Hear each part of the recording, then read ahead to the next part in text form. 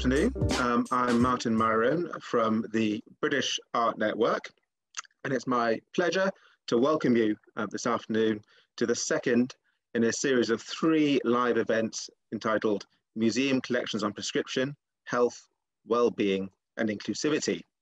Uh, the series is produced as a collaboration between three professional networks, the British Art Network, the European Paintings Pre-1900 Network, and Understanding British Portraits. They investigate the relationship between art collections, inclusivity, and visitor well-being, exploring the intersection between art and healthcare, museum collections and representation, engagement, and mental health. Today's session has been convened and will be chaired by Catsou Roberts from uh, Vital Arts. Um, and I will be uh, introducing Catsou in a moment. Before then, a few brief points of housekeeping. There's a resource pack of references and further reading uh, relating to all three sessions um, available. Um, so you can follow up on case studies and published research in the area after today's event. Uh, we will also be sharing a website link where you can access the resource. And actually, I think in the chat already, there's a link to uh, materials relating to the um, three sessions. Thank you, Martin. And um, thank you for the invitation to, to convene the session today on arts and well-being. So I've been a curator for 30, 30 years, mostly in the public sector and all within contemporary art. For the past decade, I've been working within the NHS, commissioning site-specific projects. My aim has been to transfer years, many years, of curatorial experience to the hospital context where art can have an impact unlike any museum, Kunsthalle, biennial, etc. So I'm delighted to be convening the session today entitled The Curatorial and the Cultural Encounter in the Hospital Context. I put together a program that will explore aspects of arts and health in a field which has come into sharp focus in recent years, and even more so since the pandemic. I've invited Eva, Dr. Eva Fattorini, who is the founder of Artosen. She is the former founding director and chair of the Cleveland Clinic Global Arts and Medicine Institute. She will discuss how art supports well-being and assists healing. She will also look at extending access to art via telehealth. Also joining us is Daniel Heather. He is Deputy Archivist of the Museum and Archives at Barts Health NHS Trust, and he will discuss collecting and curating in the pre-NHS hospital. Also with us is artist Peter Liversidge, whose practice has often intersected with the NHS. He will, he will present some of those projects. His work has been exhibited widely, including at the Tate, Whitechapel, and internationally. During the comfort break, please note we will show a film by Peter that grew out of his project at the Royal London Hospital. It features comedian Phill Jupitus reading NHS related jokes. But we will start with my presentation, which will give a overview of the arts and health organizations that I lead. Whoops. Um, in order to talk generally about providing access to art, commissioning public work, and curatorial ambition within the healthcare environment. Hospitals are key municipal spaces.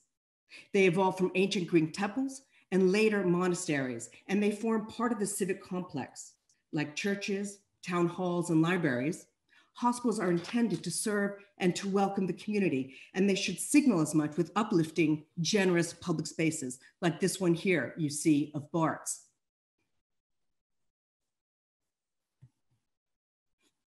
So, um, so uh, this is an example of a very generous public um, civic space that you can see at Bart's. The erosion of the public realm by market forces has stripped an already squeezed NHS of any illusions of grandeur. Nonetheless, hospitals remain important to community life, forming a crossroads of human activities. These large municipal buildings serve a diverse public who daily pass through in their thousands, whether arriving via the ground floor or the helicopter pad.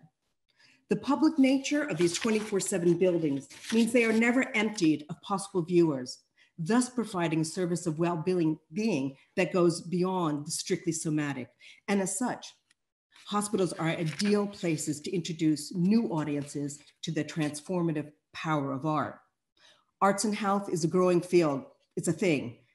and there is increasing evidence of the benefits that exposure to significant art has on supporting well-being. Eva will speak more to this point. But what's clear is that art strategies are now included as standard practice for new and refurbished healthcare buildings across the UK and abroad. They, they are seen, art strategies in hospitals are seen as a means to humanize the clinical environment, but hopefully they push well beyond that as well. Vital Arts is the arts organization embedded within Barts Health NHS Trust, which includes five hospitals in East London. We serve 2.5 million people in some of the most disadvantaged communities in the UK. We are charitably funded, so we have no budget from the NHS for the delivery of art.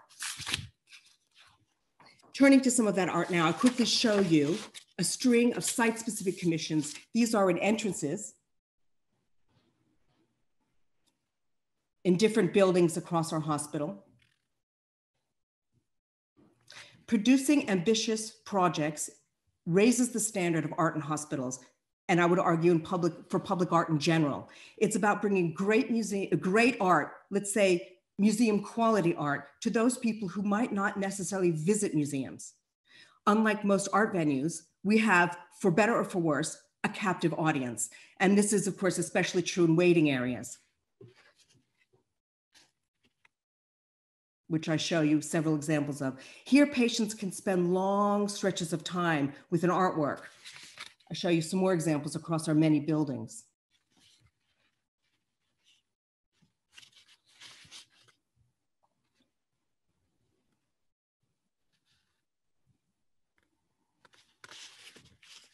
So someone's first encounter with contemporary art may very well be at a hospital so hospitals have the opportunity to generate memorable aesthetic and perhaps why not philosophical experiences that are meaningful, nourishing, and impactful. Vital Arts does this with a range of established and emerging artists, some of them listed here.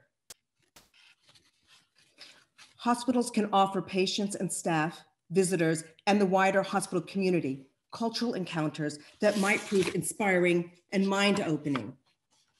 And given we have miles of corridors, hospitals don't lack exhibition space or venue. We don't lack venue. Um, I'll show you some examples of what we've done in order to not leave our corridors looking like this.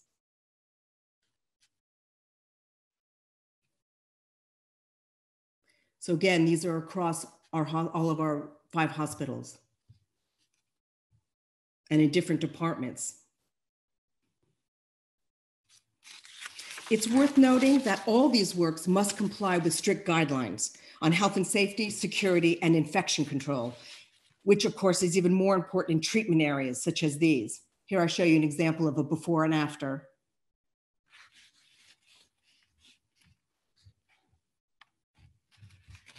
Each artwork is accompanied by a didactic label that provides information about the artwork as well as the artist, just like any museum label, offering insight and context in order to engage a wide audience.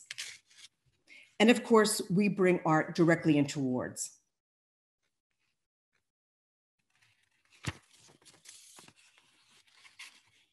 So these are more examples. This is the artist in front of his artwork. Uh, this one is especially vibrant and um, forms a strong contrast with this one, which is uh, a ward in our former Georgian building depicted uh, in 1914. So we've, we've come a long way, I would say. Arts and Health has really um, made some progress.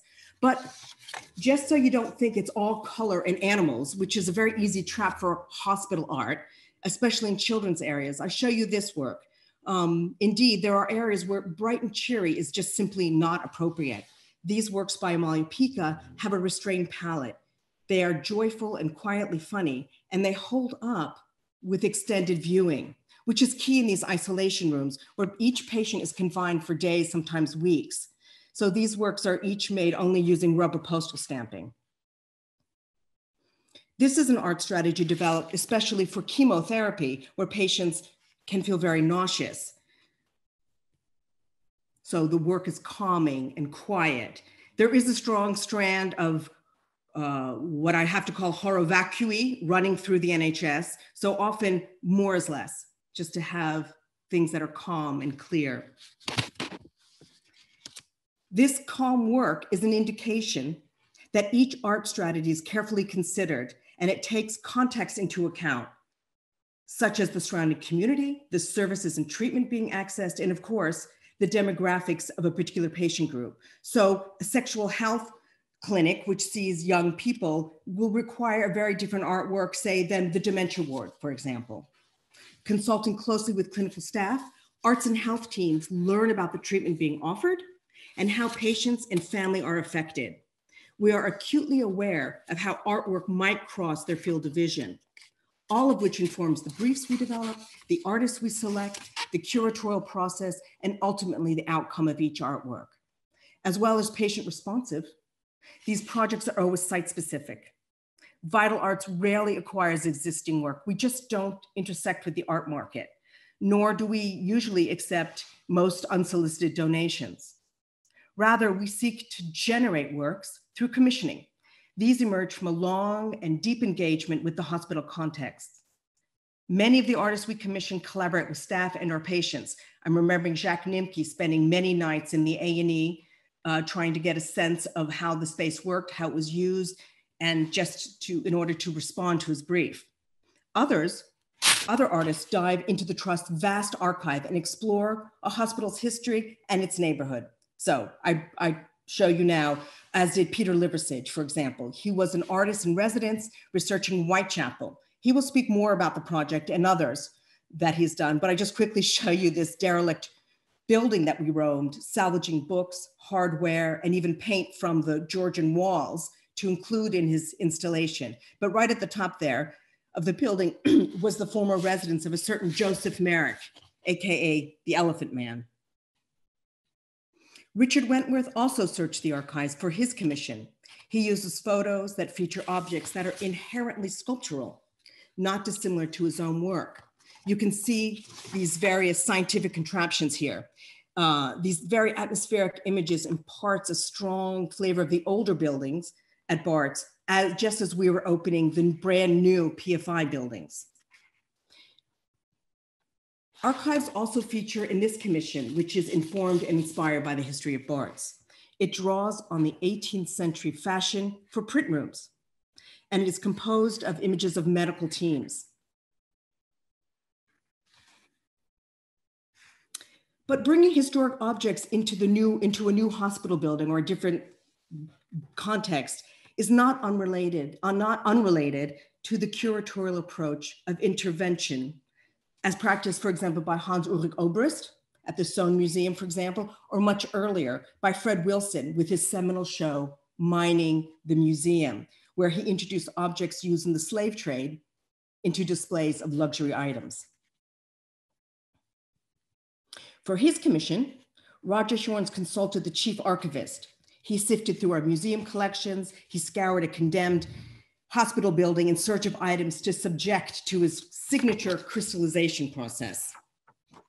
After several days of prowling the evacuated, obvious, uh, uh, uh, the evacuated offices, which were redolent of the abandoned Mary Celeste, Roger and I alighted upon these clocks that were just quietly ticking away in the dark, and these formed the basis of his installation for us.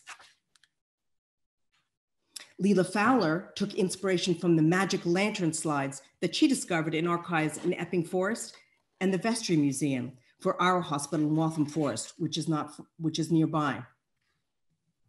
Daniel will speak more about the extensive archives and history of Bart's, but I do show you one good example of a site-specific commission artwork by none other than local artist William Hogarth. I should add this was not a Vital Arts commission, of course. Um, Key to innovative art programs within healthcare is selecting artists who have not already made work for hospitals, and better yet, artists who have not been previously commissioned, like Hogarth here. For this work, in fact, it was his first commission, and there's an interesting story there. As such, we take creative risks knowing that outcomes are not fully predictable. And this is essential to generate significant art that contributes to the the redefinition of hospital art and to public art in general, which all too often is anodyne art by committee and it's aimed at some insipid general public. I have to say that the intensity, involvement, the scope of ambition, and working in such a determined and, and uh, determined and complex content frequently pushes artists to new creative territories, but it always yields original and unanticipated results. Part of that risk taking, for the sake of making cultural contribution, is working with people who sit outside a strict definition of art. For example, we commissioned Tatty Devine, the jewelry designers who made their first art installation for us. Others include toy makers, children's author, a theater set designer, as well as a cartoonist, uh, Tom Gauld, whose cartoon you see here. Tom regularly features in The Guardian and The New Yorker magazine, and his commission with us translated his 2D illustrations into an installation that wraps around. Whoops. I, I think I can get this to move. No, to animate this. There we go. Thought I could do it. Um, so he his commission with us took his two dimension his two dimensional illustrations and it wrapped around the cystic fibrosis installation uh, unit. Sorry, it wraps around the cystic fibrosis isolation unit. This work is based on Miro type cards, Myriorama type cards that create variations of an imaginary urban park with a list of symbols that becomes like a treasure hunt that include drop keys or haunted lawn, invisible portal in, in the legend. Tom's deadpan and slightly dark humor resonates with the teenagers and the young adults confined to the unit. Here's Tom donning PPE uh, when he was um, on one of the several days he came to meet with patients, which is absolutely central to the project. Another project which entailed heavy involvement with patients is a packet of flashcards used to communicate with reticent dementia patients. Ruth Ewan collected stories from older patients and created these to trigger memories and to encourage conversation. They were developed with dementia specialists and are, or they are actually in use in the wards now. So it's an artwork as well as a functioning tool. This patient engagement is really key to many commissions, as well as the workshops and temporary projects involving collaboration. I, will quickly show you some examples. So Jessica Vorzanger created some comic books that we published to distribute to patients and their families. Faisal led a workshop exploring identity. Lemn Sissay was our poet in residence in 2011 before becoming the official poet for the Olympics. Shiraz worked with refugee children facing trauma. Sam did an intergenerational project that involved a parade and before they were celebrity caterers, Bompas and Parr created a jelly spectacular for us. Many of these are with children because the Royal London has an actual school within it for long-term and chronically ill patients. But of course, we also serve other patient groups. In renal, for example, and through literature, which is another strand that, that we um, program. And this literature strand also includes a cookbook for renal patients that will be hopefully published very soon. It making it involved recipe writers, nutritionists, renal specialists, and many, many patients from the renal community. Like most art programs for hospitals, Vital Arts also brings dance and music directly to patients.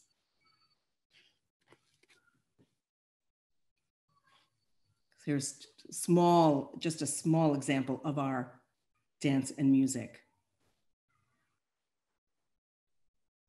We'd like to push this audio element uh, at Vital Arts uh, even further, and we'd like to commission music and sound projects that would be played across our hospital radio stations. So this is an example of what it may or may not look like in the future. But to deliver all of these, and all of our projects, in fact, it's important to forge strong ongoing partnerships. And here's a few of the organizations with whom we have collaborated. Yet, offering access to art extends to staff as well as to patients. A current project called hashtag 100 NHS rooms was developed in response to the extra stress on our clinical colleagues due to COVID. It entailed dozens of artists making new work to be installed specifically within the staff area, in those staff areas that are used for rest and respite. The project attracted a lot of attention and the feedback from staff was great. One said, I didn't know I liked art until I started working at the Royal London Hospital, which is fortunate because it's 15 floors stacked with art top to bottom. You'll notice most of our works are not discrete autonomous objects. The collection does contain, consist of more than 2,000 works, but we don't, we don't view it as an accumulation of items. Like the Hogarth, Many of the works are integrated into the architecture, such as these backlit photos built into the ceiling in radiotherapy. So here, patients are supine, looking up at the work. Another work which is integrated uh, into the architecture is this one, which is, is actually drilled into the wall. And here's another example. This is canvas that's fit precisely to the uh, 18th century building. But if not embedded, it always takes into account the, specific, the specificity of the existing architecture and works with and around it. Just show you some examples here. The artworks are often immersive installations that run through the space, such as these.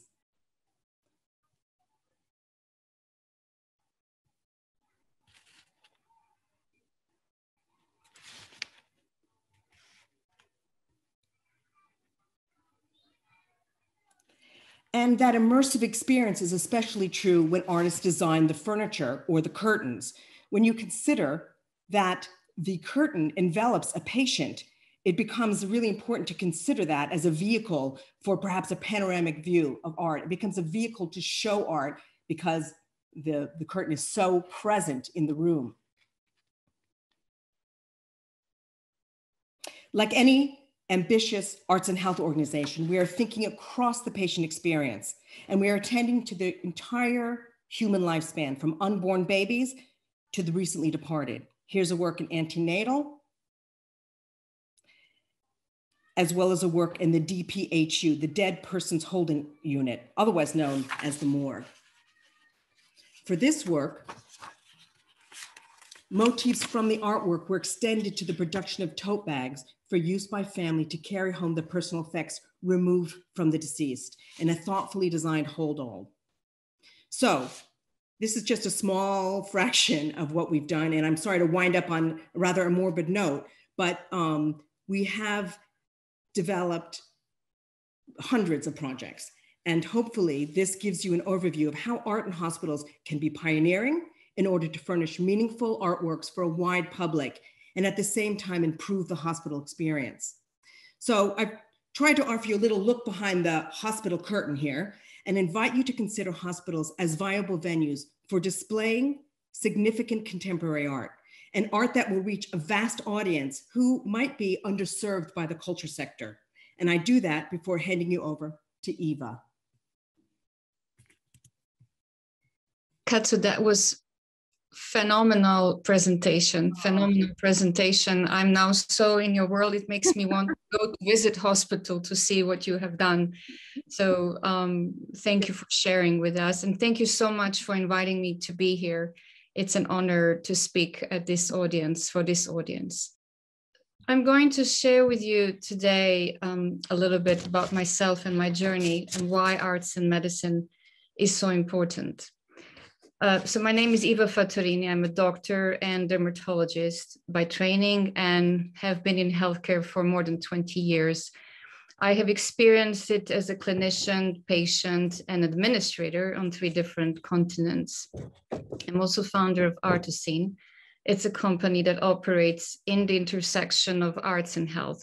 Prior to that, I was holding executive role at the Cleveland Clinic, as Catsou mentioned, uh, which is an integrated healthcare delivery system with hospitals, clinics, and wellness centers in the United States, Canada, United Arab Emirates, and opening in London soon. One of the many important things that I had learned on this journey is that all of us humans were mesmerized by rapid development of technology in last hundred years And on that journey, medicine has lost its soul. So I think the integration of arts with medicine can rehumanize it and awaken the souls of the hospitals. You know, we are not questioning ourselves what's the purpose of existence of the hospitals? Of course we know why they exist and we are not questioning the existence of museum. So i'm wondering why are we questioning the coexistence of these two things? So if you want to build these programs obviously you need the budget. When you approach chief financial officer uh, or ceo of the hospital and ask for money, you cannot say, well, I need you to allocate this and this amount of budget for something that cannot be defined. So our job is to try to define better what arts can do for health. And we have only started to do that recently. Um, arts and health is a concept associated today more than ever before with mental or behavioral health, especially in last year due to pandemic, as we all know. So before I proceed, I'd like to remind you that uh, mental health is going to be the global leading cause of mortality and morbidity by 2030. We associate our minds and consciousness with our brains. It's something that we might want to reconsider. This is how Leonardo saw the brain.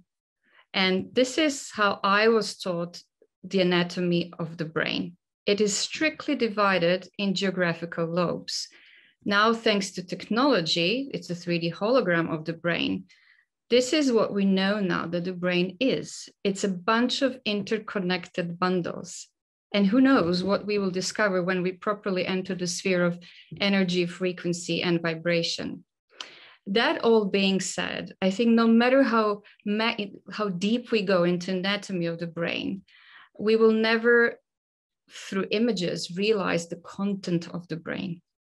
That's why I think arts is the original neuroimaging process. These words actually belong to my dear friend, art therapist Michael Franklin. I was always wondering what is the mathematics of emotions and at which point testimonials become evidence. We are born to create. Why do we have to be deprived of it once we enter the healthcare systems? To me, amongst many definitions, arts uh, is a skilled form of creativity. So if we ask ourselves, do, do arts or do arts affect emotions? And do emotions affect health? The answer is yes, that means arts affect health. Now, let's go back to the reality we live in healthcare is a very regulated industry and hospitals are hard data driven institution. If arts wants to enter healthcare, it needs to learn to speak its language and show that is, it is an added value and not an extra cost. Uh, there are multiple ways how to do that. And I have extracted today the one that is developed at Institute for Healthcare Improvement in United States it's showing that improvement of healthcare system requires simultaneous pursuit of these three aims, improving patient experience of care, improving the health of populations, reducing per capita cost of health. So let's try to, through arts, help healthcare systems define their su success. Let's help healthcare systems improve the quality of care few years ago with Artisan, we did a simple case study and correlated research done in the area of arts and health, music, visual arts, and dance with these three aims.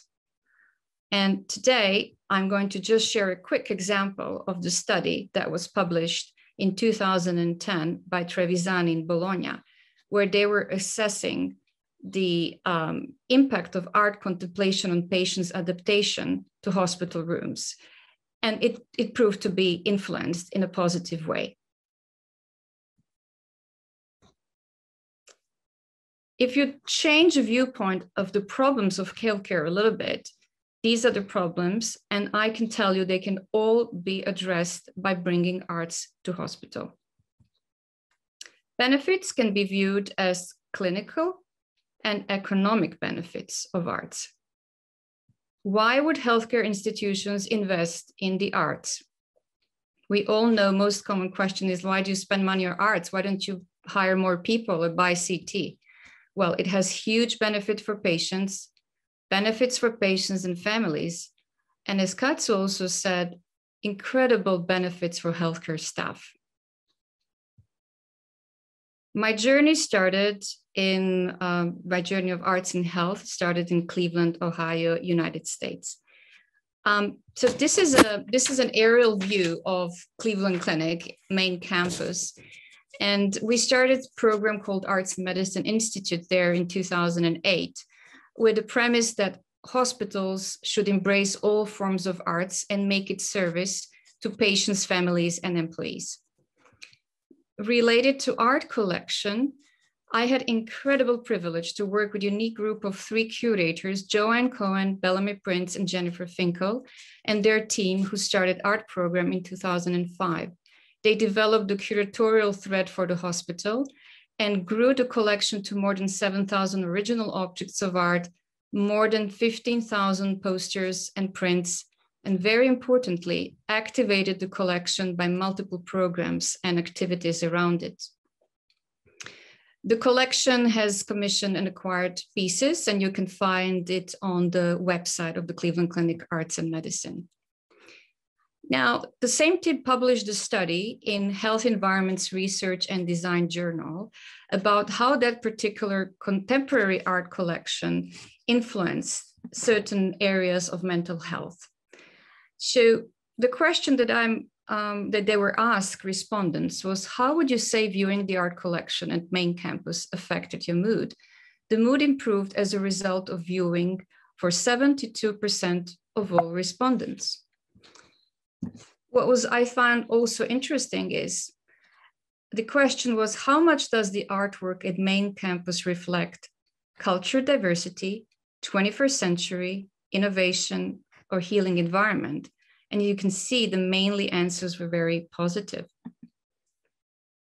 There were also a list of 12 positive descriptors. Just by a quick look at this um, figure, you can see that most of the people saw the art collection as something very positive. And in, a, in the lieu of do not harm, a list of negative descriptors are here. And you can see majority of respondents did not associate art collection at all with anything negative.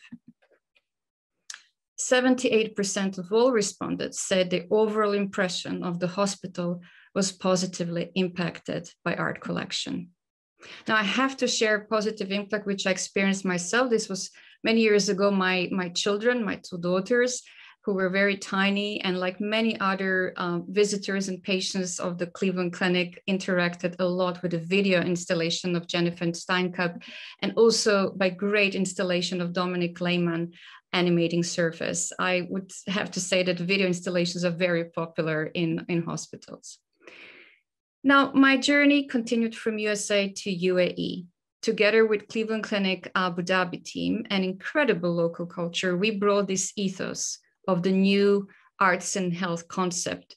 And we created an amazing environment, not just by appearance, but by diverse culture, great people, and fascinating history of the West Asia or Middle East, which made me aware of how much we don't know and is yet to be learned about this concept. A little walk um, through the hallways, Rana Begum, which Catsou also uh, mentioned, beautiful work, and the work of Hassan Sharif. Um, I have to say at this point that many programs, um, such as employee art shows, where employees create art, are showing and emphasizing that arts transcends any geographical, language, or cultural barrier or any material value. My journey took me further to Kochi, Kerala, in India. Arts in a hospital is not a luxury or commodity, it's a very humble necessity. And it belongs to everyone. This is a, a, general hospital in Kochi. I was privileged again to work with great team from Kochi Biennale on the program for the hospital. And what you can see here is artist Daniel Connell from Australia, who created a series of portraits of the patients. Arts is allowing us to stop, reflect, and show that we actually deeply care And that is how we discover the beauty and the true value of the arts. These are the portraits in the hospital. I took this image three years ago in Gandhi Ashram in Gujarat, in Ahmedabad. Please take a few seconds to read it.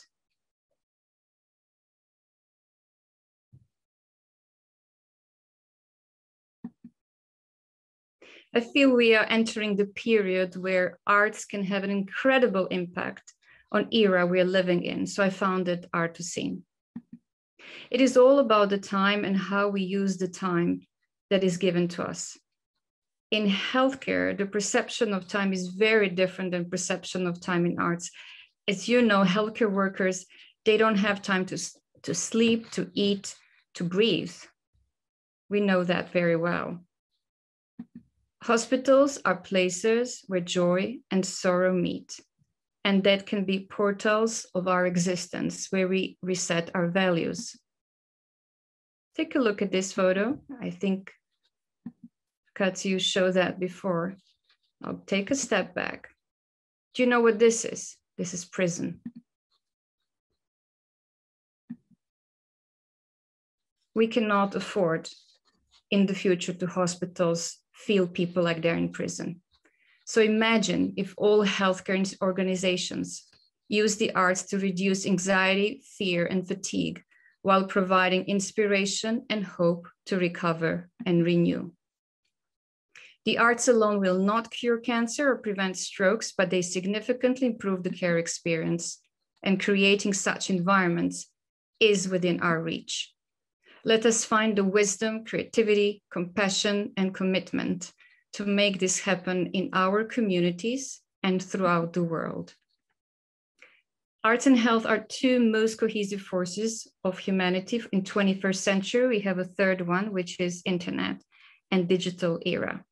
So if we merge all three in one, we have a very powerful tool that can serve to humanity in a very unique way. And that is why I created Artisan Digital Telehealth Platform. But that is to be told at some other gathering. Thank you so much for inviting me. Thank you. Thank you, Eva. That was great. So interesting and really nice to see an experience of, um, you know, an international experience and not just of the UK. So we are going to take a break now. We have a 15 minute break in which we will be seeing the film of Peter Liversidge, uh, which features, as I said before, uh, Phill Jupitus, the comedian Phill Jupitus, reading NHS related jokes. So we will see you in 15 minutes, uh, just about five before four. Thank you very much. On his rounds, the doctor asked the nurse, How's that little boy doing, the one who swallowed all those pound coins? Nurse answered, No change yet. An artist asked his gallerist if there'd been any interest in the works in his current exhibition. I got good news and bad news, replied the gallery owner. The good news is that a gentleman inquired about your work and wondered whether it would appreciate in value after your death. When I told him it would, he bought the entire show. That's great, exclaimed the artist. What's the bad news? The man was your doctor. You know you've been a nurse too long when you know how to say bedpan in five different languages. Four surgeons were on a coffee break. The first said, I like operating on librarians best because you open them up and everything is in alphabetical order. The second said, I think accountants are the easiest to operate on because everything inside is numbered. The third said, I prefer electricians because everything is colour coded. And the fourth said, I reckon lawyers are the easiest to operate on because they're heartless, spineless, gutless, and their head and rear end are interchangeable. How is a hospital gown like insurance? You're never covered as much as you think you are. I took my husband to the hospital yesterday to have 17 stitches removed. That'll teach him to buy me a sewing kit for my birthday. A God fearing man was close to death in hospital, so his family called in the vicar. As the vicar stood by the bed, the man's condition seemed to deteriorate, and he motioned frantically for something to write on. The vicar handed him a pen and paper, and he quickly scribbled a note. No sooner had he finished writing than he died. The vicar left the note unread for three quarters of an hour while the family came to terms with their grief. But as he prepared to leave the hospital, he said, I think now would be an appropriate time to read Bill's last note. It was obviously something which meant a lot to him, something he felt he needed to say. The vicar opened the piece of paper and read aloud Hey, you, you're standing on my oxygen tube. A man took his pregnant wife to the hospital to give birth. There, the doctor revealed that he developed an experimental machine which could take some of the pain of childbirth from the mother and give it to the father instead. He asked the couple whether they were interested in giving it a try, and they agreed. Since the machine was largely untested, the doctor thought it wise to start at the lowest setting. He strapped the man down, switched on the machine, and asked him whether he could feel any pain. No, I feel fine. So the doctor turned the machine to a slightly higher setting. Again, the man reported feeling no discomfort. And all the while, the wife was going through pain free childbirth. Greatly encouraged, the doctor turned the machine to its highest setting. Still, the man felt no pain. This is truly amazing, said the doctor excitedly. A veritable breakthrough in childbirth. After his wife had given birth, the husband climbed off the machine and calmly drove home. There, he found the postman dead on the doorstep. A woman in labour with her first child yelled repeatedly, Shouldn't, wouldn't, idn't, don't, couldn't, mustn't, can't. Her worried husband asked the doctor what the problem was. Nothing to worry about, said the doctor. Your wife is in the throes of contractions. I was born by caesarean section, but not so you'd noticed. It's just when I leave the house, I go out through the window. A man phoned the hospital in a state of excitement. My wife is pregnant. Her contractions are only two minutes apart. The doctor said, Is this her first child? No, you idiot, the man replied. This is her husband. When a trick went wrong, an amateur magician accidentally turned his wife into a couch and his two children into armchairs. He tried everything he knew to reverse the trick, but when all attempts failed, he took them to hospital. He paced up and down in casualty for hours until finally a junior doctor came out to see him. My wife is a couch and my two children are armchairs, said the magician. I need to know how they're doing. The doctor glanced at his notes and said, Ah, uh, well, they're comfortable. Who are most stable people in hospital? The ultrasound department. A patient who had just undergone a very complicated operation kept complaining that he could feel some sort of bump on his head and he had a pounding headache. Since the operation had been on his stomach, these were not the type of side effects that the nursing staff had anticipated.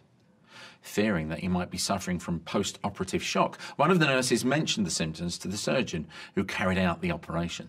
Don't worry, said the surgeon. It's not shock. He really does have a bump on his head. Halfway through the operation, we ran out of anaesthetic. What's the difference between a haematologist and a urologist? The haematologist pricks your finger. I wasn't originally going to get a brain transplant, but then I changed my mind. A woman went to hospital to visit a friend who hadn't been at a hospital for several years and very, was very ignorant about all the new technology. A technician followed her into the elevator, wheeling a large, intimidating looking machine with numerous tubes, wires, and dials. She looked at it and smiled. I certainly wouldn't want to be hooked up to that. Neither would I, replied the technician. It's the floor cleaner. A man ended up in hospital covered in wood and hay with a toy horse lodged in his rear end. Doctors described his condition as stable. A man was lying in a hospital covered in bandages from head to toe. The guy in the next bed said, What do you do for a living? The bandage man replied, I used to be a window cleaner. Oh, and when did you give it up? About halfway down. A man went to A&E and told the triage nurse, a wasp has given me a nasty sting. Is there something that you can give me?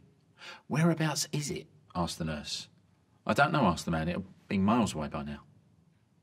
A man lost both ears in an accident and was distraught at the prospect of being unable to hear ever again. The surgeon told him, There are no human transplant ears available at present, but we do have a dog's ear and a pig's ear that are ready to transplant. Would you consider those? Yes, OK, replied the patient. I'll try anything to save my hearing. So the transplants went ahead, and a month later the man returned to the hospital for a check. How have things been? asked the surgeon. Well, Doctor, the dog's ear is brilliant. I can hear for miles. But with a pig's ear, I seem to be getting a bit of crackling. Two small boys were sitting outside a clinic. One was crying very loudly. What's the matter? asked the other boy. I came here for a blood test. So, there's nothing to be afraid of. You don't understand. For the blood test, they cut my finger. Hearing this, the second boy started to cry too. Why are you crying? sobbed the first boy. Because I'm here for a urine test. Two women were bemoaning the state of the NHS. One said, Do you know, my 93 year old mother has been waiting over a year for her operation. That is appalling, said the other woman. What a terrible way to treat someone of that age. I know, said the first woman. It got so bad that at one point I even said to her, Mum, do you really need these breast enlargements? Pacing the hospital corridor, a man was growing anxious about his imminent operation. His partner asked him, What's the matter? Why are you getting so worked up? He replied, I heard one of these nurses say it's a very simple operation. Don't worry, I'm sure it'll be all right. She was just trying to comfort you, said his partner. What's so frightening about that? She was talking to the surgeon. A man was visiting a friend in hospital. He'd recently quit smoking and was chewing on an unlit cigar when he stepped into the lift. A staff member told him firmly, Sir, there is no smoking in this hospital. I'm not smoking, lady, replied the man. But you have a cigar in your mouth. Yes, and I'm wearing jockey shorts, but I'm not riding a horse. When a patient regained consciousness after an operation, the surgeon told her, I'm really sorry, but I'm afraid we're going to have to open you up again. You see, unfortunately, I left my rubber gloves inside you. The patient said, Well, if that's all it is, I'd prefer you leave me alone and I'll buy you a new pair. A man went to his doctor and said, Doctor, I keep having visions of the future. When did these start? asked the doctor. Next Thursday, replied the patient. Apparently, overthinking or worrying about things may actually keep your brain healthier. You know, that means if you're not a worrier, you should be worried about that. My neighbour's in a coma. He's living the dream. My friend was told by her doctor that she is morbidly obese, as if she doesn't have enough on her plate. Two men at work were just discussing the dangers of smoking. The first said, Just one cigarette killed my mate. Really? Yes, he was fixing a gas leak at the time. Doing rounds, a new nurse couldn't help overhearing the surgeon yelling, Typhoid, tetanus, measles. Why does he keep doing that? she asked a colleague. Oh, he likes to call the shots round here. A man went to the doctor and said, Doctor, I keep calling out the names of characters from Lord of the Rings and The Hobbit in the middle of the night. What is the matter with me?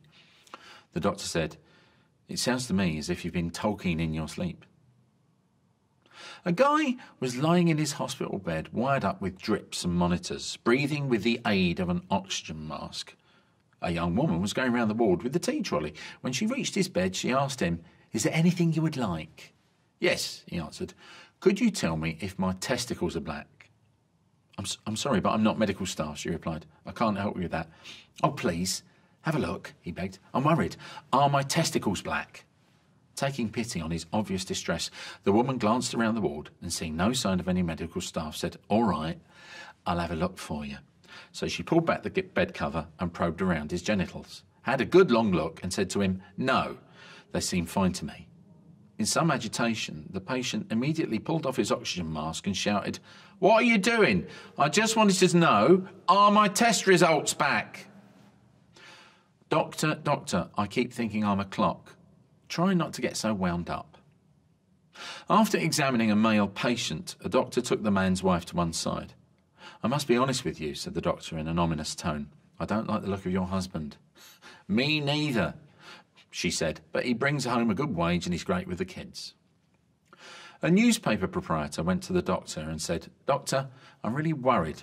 My paper has lost 50,000 readers over the past year. Right, said the doctor, I'll prescribe you some tablets. What use will they be? Well, they'll help improve your circulation. Doctor, doctor, I think I may be suffering from deja vu. Didn't I see you yesterday? What happened when two meteorologists each broke an arm and a leg in an accident? There was worry about the forecasts. A completely unqualified man got a job as a cosmetic surgeon. that raised a few eyebrows. The psychiatrist told the genie that his emotions were all bottled up. I got kicked out of the hospital. Apparently, the sign that reads stroke patients here meant something completely different. Two campers were hiking through the woods when one was bitten on the rear end by a rattlesnake. I'll go into town for a doctor, the other one said. He ran miles to a small town and finally, the only doctor delivering was delivering a baby. I can't leave, the doctor said, but here's what you do. Take a knife, cut a little cross where the bite is, suck out the poison and spit it on the ground. The bloke runs back to his friend who's in agony. What did the doctor say? said the victim. He says you're going to die. A bloke tells his psychiatrist, every time I get into bed, I think there's somebody under it. Come to me three weeks, three times a week for two years, and I'll cure your fears, said the shrink, and I'll only charge you £200 a visit. The bloke thinks about it. Six months later, he runs into the doctor who asks why he never came back. For £200 a visit, he says, a bartender cured me for a tenner. Is that so? says the psychiatrist. How? He came round and he cut the legs off my bed. While dancing at a party, I tripped and stubbed my toe. Days later, my toe was swollen and purple. I went to see a podiatrist. I told him how I'd hurt myself and admitting to feeling foolish at being so clumsy. After x raying my toe, the doctor said he didn't need to do anything. Anxious to speed the healing, I asked whether there was something that I could do. Should I soak it, put it on ice? Is there anything that you would recommend? The doctor smiled and said, Take a course of dancing lessons for eight weeks. A woman was pregnant with her first child, and her husband was about to leave on a two week business trip. When she went to her doctor's appointment, she had some questions. My husband wants me to ask you something, she began timidly and looked embarrassed. The doctor interrupted her. I get asked that question all the time, she said in a reassuring tone. Intimacy with your husband is fine until late in the pregnancy. No, that's not it, an embarrassed, expectant mother confessed. My husband wants to know if he can still mow the lawn. It had been a long time, seven years to be exact, since my friend had been to see his doctor.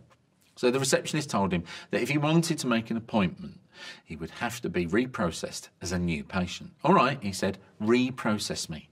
I'm sorry, she told him. We're not accepting any new patients. A woman called her doctor up and said, Doctor, doctor, I just swallowed a spoon. What should I do? The doctor says, Sit down, don't stir. I mixed up the cardiac resuscitation equipment with the lie detector but I will defib you later. Wounds heal better if they are covered. This is an example of gauze and defect. I don't understand the point of acupuncture. My wife is feeling better after getting her appendix removed. Unfortunately, she will never be able to reference this chapter of her life. This year's flu is going viral. After a woman gave birth, the doctor appeared in the ward with a worried expression and announced, I must tell you something about your baby, she said. The woman sat bolt upright. What's wrong with my baby? The doctor replied, Well, nothing is wrong exactly, just a bit different. You see, your baby is a hermaphrodite. A hermaphrodite? repeated the new mother. What's that? It means that your baby has the features of a male and a female. The mother turned pale. You mean the baby has a penis and a brain? A GP said, So you think you're a moth? Well, instead of coming to me, why don't you consult a psychiatrist? I would have, said the patient, but your light was on. When I got an inoculation, it was like a shot in the arm. Yesterday, I accidentally swallowed some food colouring. The doctor says I'm okay, but I feel like I've died a little inside. Did you hear about the two podiatrists? They became arch rivals. Hello again. Uh, welcome back. Um, I want to thank Eva again for that really rich panorama of showing us art around, around the world in hospitals. And now I'm delighted to hand over to Daniel Heather, who, as I said, is the deputy archivist um, at Barts Health NHS Trust. And he will be talking about art and collecting in the pre NHS hospital. Daniel, over to you. Thank you very much. Um, just like to begin by thanking uh, Catsou for the invitation to speak today. Um, thank the other speakers and obviously uh, also thank everybody who's taken the time out this afternoon to attend. Um, I hope it proves interesting. I'd like to begin by providing an overview of today's presentation. I'll begin by briefly explaining the function of Barts Health NHS Trust Archives and Museums, which is the service I work for and explore how artworks fit within our larger collection. I'll then go on to consider the motivations for hospitals and their attendant medical colleges acquiring and displaying artwork with a focus on the 18th, 19th, and early 20th centuries, including the period of transition in the 1940s when the NHS was created and earlier funding models that sustained hospitals up to that point were phased out. I believe the artworks in our collection can be used as a lens that allows us to consider why it was important for pre NHS hospitals to engage with a curatorial and collecting impulse, and how this impulse was intrinsic to the maintenance of financial, social, and institutional well-being for these healthcare entities. I'll use artworks from our collection throughout the talk on these slides. All the images are courtesy of Barts Health NHS Trust archives and museums, unless otherwise noted. I'll argue that the relationship between visual art and well-being was understood in a radically different way to the broader consensus that arrived with us in the mid 20th century, and highlight that many of the artworks acquired by pre NHS hospitals, as records form part of our archive and museum collections, were never intended for consumption by patients. Instead, the works were often situated in parts of the hospital estate that were quasi private and only accessible to staff, medical students, and governors. However, I'll also use the photographic archives in our care to demonstrate that art was, on occasion, also displayed in wards and recreational spaces too, an act that predicts the work of 20th century art and well-being practitioners. Although these images only provide a partial insight, I'll attempt to draw out some commonalities between historic practice and the activities one might encounter in the NHS today. I'll begin by providing a little more context about Barts Health Archives and Museums. Our collection is largely comprised of the archives, which is to say the institutional records, of around 30 hospitals and healthcare organisations that are or were active in East London and the City of London. Our largest collections relate to St Bartholomew's Hospital, which was founded in 1123, and the London Hospital, now the Royal London Hospital, founded in 1740. Over 95% of the collection consists of archive records retained for their informational or evidential value, or clinical objects retained not for their aesthetic properties, but because of their function and what they, and what they tell us about the history of medicine. The collection of visual art we hold, which predominantly consists of painting and sculpture, is an element of the collection that has not, to date, been comprehensively researched or well used, save for occasional inquiries by researchers interested in producing biographies of individual artists or portrait sitters who are captured in some of these works. Often the provenance of the artworks and their chain of custody are only partially understood by us. We've attempted to reconstruct the active lives of these artworks through surviving committee minutes, photographs where the artworks were often an incidental inclusion in a shot, or insurance, or insurance valuations held in the archives.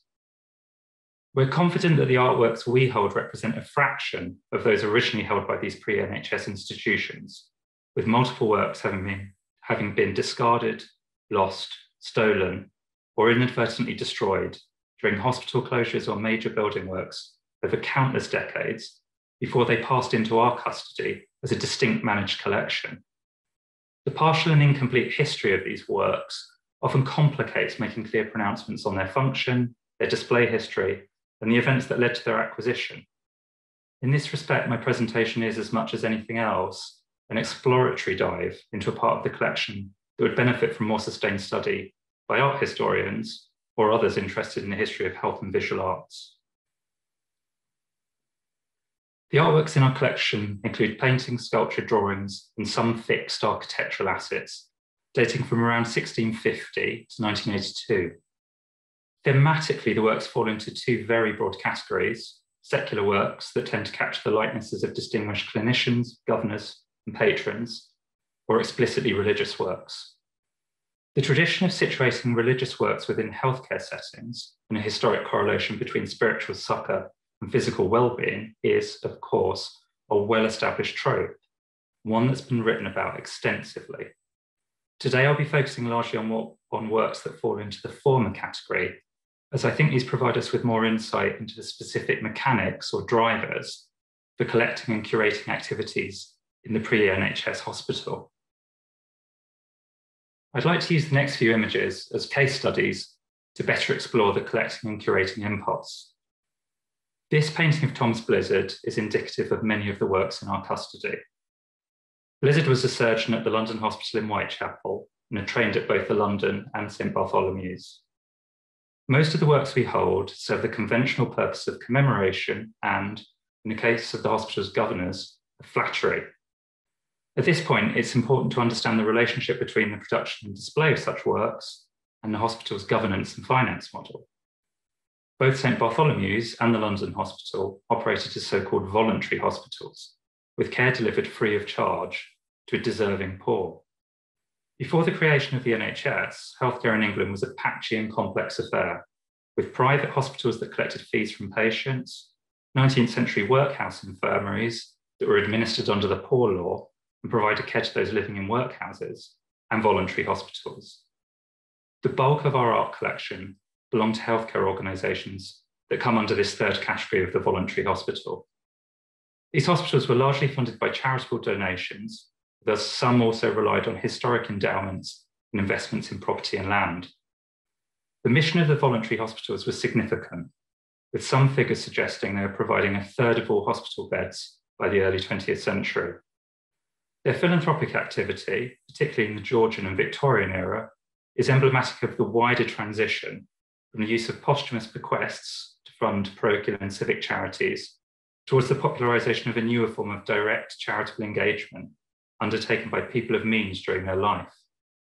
Reliant as these hospitals were on the income received via annual subscriptions and operating in a fiercely competitive market with other charitable bodies, the use of artworks to signpost the involvement of notable individuals and to adorn areas of the hospital estate designed for gatherings of gentlemen of extensive charity, as they're described in the records of St. Bartholomew's, was a compelling reason for undertaking collection building and curatorial activities.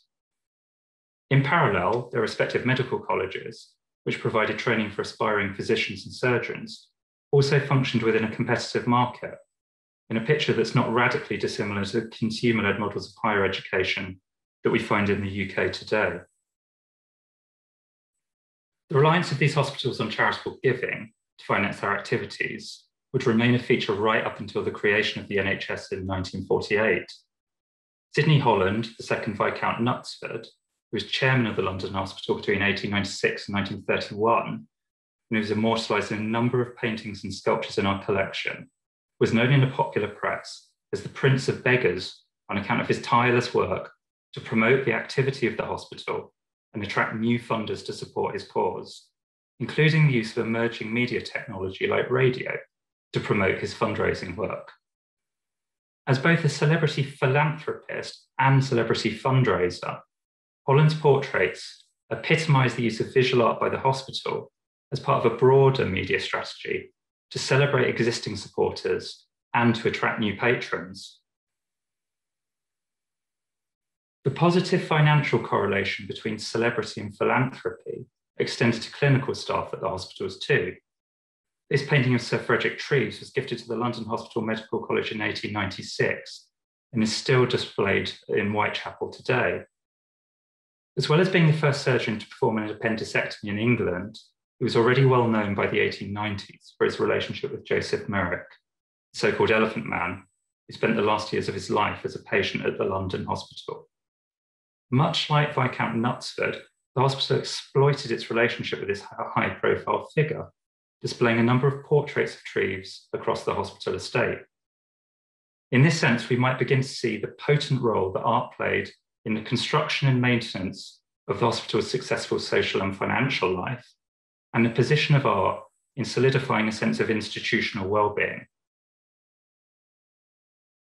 The most notable instance of the confluence between art, institutional power, and philanthropy is the Hogarth Stair and Great Hall in the north wing of St. Bartholomew's Hospital.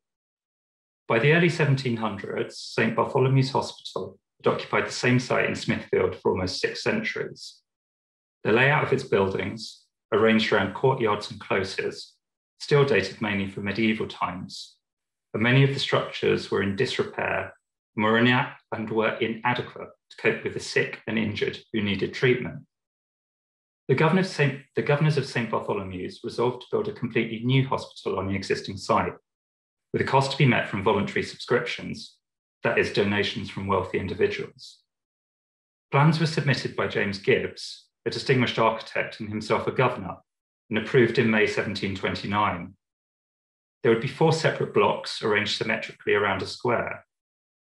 Three of the four blocks contained patient wards, but the north wing was to contain a compting or counting house for the conduct of hospital business, a residence for the clerk, a room for the admission and discharge of patients, and on the first floor, the Great Hall, which would be used to host governors' meetings and events, and which was reached by a staircase featuring two large stretched canvases by William Hogarth.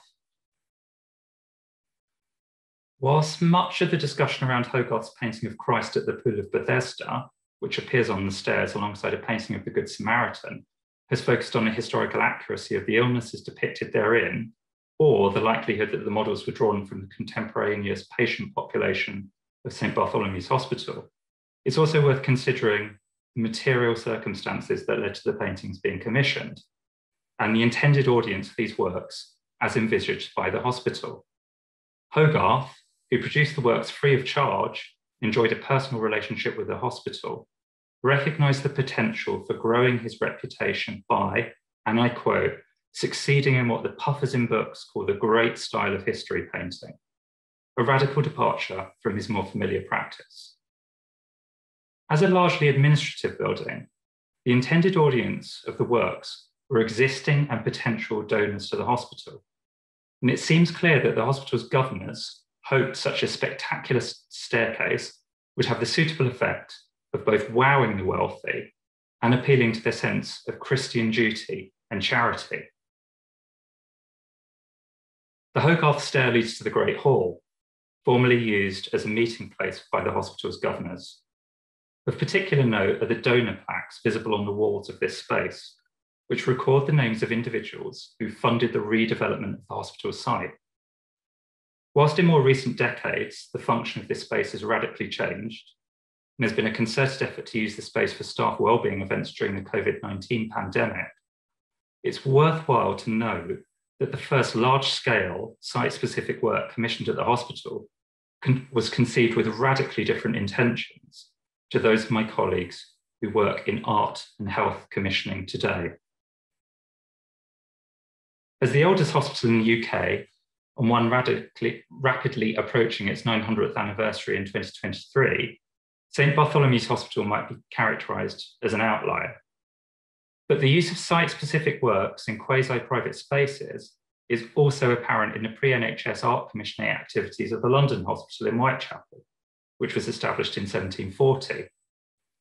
In 1912, the Japanese painter Ishibashi Kazunori was commissioned to paint 36 panels in the dining room of the London Hospital Medical College, a social space used by the students and officers of the medical school. This image is taken from the American Magazine of Art, July 1917, and is one of the few photographic records of this work that we're aware of. Unfortunately, its fate after World War II seems unclear, with conflicting reports of it having been sold or lost. Much like the Hogarth work at St. Bartholomew's, this artwork was conceived as a means of demonstrating the hospital's prosperity and served the function of beautifying an area of the hospital estate used exclusively by members of the college community for formal dining events. The work also demonstrated the growing ambition of the hospital in commissioning works and diversifying its art holdings, which, to that point, had largely consisted of portraiture and figurative sculpture. At the beginning of my presentation, I suggested that the archive also provides some insights into the use of art in a way that predicts the later emergence of art and well-being initiatives in the 20th century, when art began to be acquired or displayed with the specific intention of supporting patients' physical and mental health. Sheridan Russell's Painting in Hospitals initiative, which began at the National Hospital for Neurology and Neurosurgery in 1959, is generally recognized as the first instance of such activity. However, there are also indica indications that the positive relationship between art and health was understood amongst the hospitals whose historic archives we manage. To do this, I'm drawing from the photographs in our archive collection, which offer clues as to how art was used in patient-facing areas. This photograph of Mary Ward at the London Hospital shows a number of paintings or prints that are displayed between beds, jostling for space amid curtain racks and medical notes. There are also a number of artworks visible on the far wall of this space.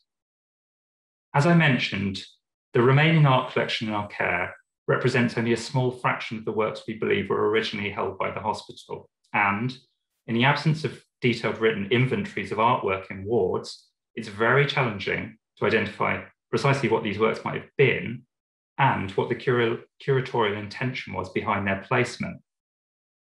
The images largely seem to be landscapes or genre paintings, perhaps selected for their calming properties. Whitechapel was marked by extreme poverty and overcrowded slum housing by 1900, and it's likely that landscapes and the like would have provided an escape from the challenging realities of everyday existence.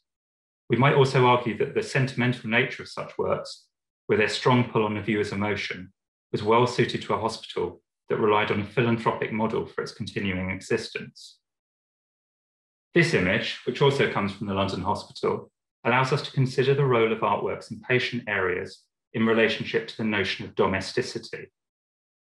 Contemporary art and health discourse often addresses the intimidating nature of institutional spaces, which can often seem alien and unfriendly, with practitioners focusing on work that renders these clinical spaces more familiar.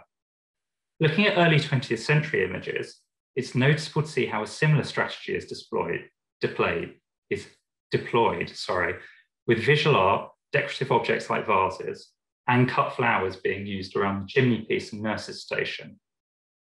Of course, the domestic interior these items evoke is probably closer to that of the middle class drawing room or study, which, whilst familiar to many patients, would not be like their own homes, but more likely those of their employers.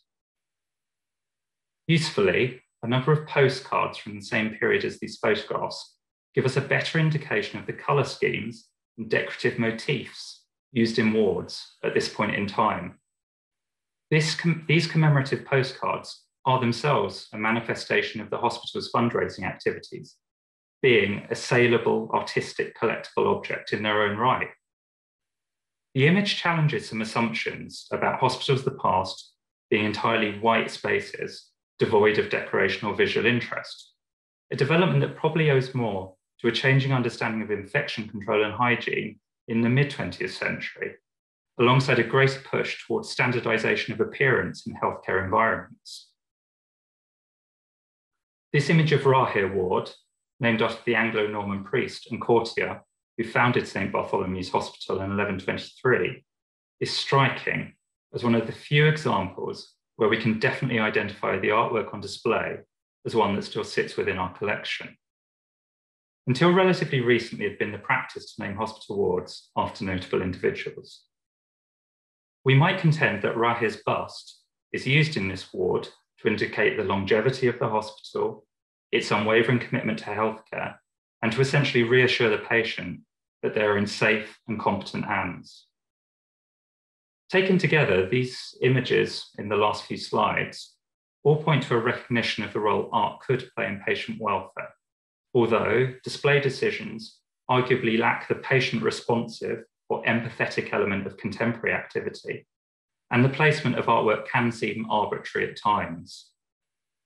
There is another area, however, where we might also claim a compelling link between historic and contemporary practice, that being the relationship between staff well-being and the arts. The COVID-19 pandemic has brought the role of staff welfare into sharper relief, particularly in the healthcare sector. Recognition of the role that spaces for reflection and recovery can play and the role of art in that process has risen in significance and seen spaces at my employer, Barts Health NHS Trust, repurposed for these activities. Throughout the 19th and early 20th century, many hospital students and staff lived in, and as such, the hospital estate tended to contain designated spaces for rest, recuperation, and social activity. These photographs inevitably include artworks suggesting an understanding of the role art could play in supporting clinical staff well-being. As hospital sites have been adapted and modernised, and as staff have begun to live elsewhere and commute to work, fewer spaces like this are available. recent activities such as Vital Arts hashtag 100 NHS Rooms programme, which Catsou spoke about earlier, has begun to bring new artworks to staff spaces across the hospital and might be seen in some ways as a revival of this historic practice. Opportunities for staff to unlock their own creativity have also seen a more recent revival, with an exhibition of staff works at St Bartholomew's Hospital in 2020, reviving similar activity from the 1930s, which is pictured here. Our archives similarly capture a long history of dramatic and musical performances by staff members, which, we might argue, find a contemporary resonance in the song and dance routines that are often shared on social media platforms by staff members today. One of the questions left unanswered is what role, if any, these artworks in our collection play in a contemporary hospital. Are the themes they explore or the media they're created in fundamentally antithetical to contemporary art and well-being activity? Inevitably, these works present significant challenges, Contemporary hospital spaces are seldom designed to accommodate oil paintings on walls or plinths for sculptures. Similarly, the sitters in many of the paintings are unrecognizable to contemporary patients, to staff, and to the wider population. And it's fair to say that they're hugely unrepresentative of the communities that these hospitals serve today. Whilst a proportion of the works in our custody continue to be on display, they are often in heritage buildings on the estate, which means that although they're visible to some people who come onto the hospital, they remain invisible to many other patients and visitors who are attending the site for healthcare purposes alone. It remains a live question for arts practitioners to consider how these works might be activated in the present and how they might speak to our contemporary audiences and to other contemporary artworks that are displayed throughout the hospital. Rather than concluding with a neat answer, I would invite artists, researchers, and cultural producers to consider these issues. And I'd encourage anybody to get in touch with us if they're interested in exploring this collection further. Thank you very much. Thank you, Daniel. That was uh, really nice, very interesting to, to see some continuity as well as some rupture in the attitudes to art in hospital context, but also the ideas around um, audience is really interesting how, how it shifts. Um, it's really good to have another panorama and kind of a grounding in history of, of what we're, we're doing today. Thank you. So uh, now I'd like to hand over to Peter Liversidge, who, as I previously said, uh, is a internationally acclaimed artist, but also has uh, a lot of his practice intersects with the NHS. And he will tell you all about it now. Thank you, Catsou, and thank you, uh, Daniel Neva as well, and and thank you again, Catsou, for inviting me to be part of today. I'm going to talk about two projects today. Um, uh, later in seven minutes, I'll be talking about sign paintings for the NHS, which was my uh, work made in response to um, the pandemic uh, last year. But the first I'll speak about is uh, Proposals for the Royal London Hospital, which was a work commissioned in 2012 uh, by Vital Arts. And I'm just going to talk a bit about how that process works. I, with a lot of projects, all my projects start with uh, research. So I spent a lot of time um, in the archives and walking the building, walking the, the sort of land around what was then the Royal London Hospital, which um, was coming to the end of its life as a building. Uh, and then, as you'll see in the photograph on the left-hand side of, of your screen, um, in the front there is the archive museum building, and in the background is the new hospital.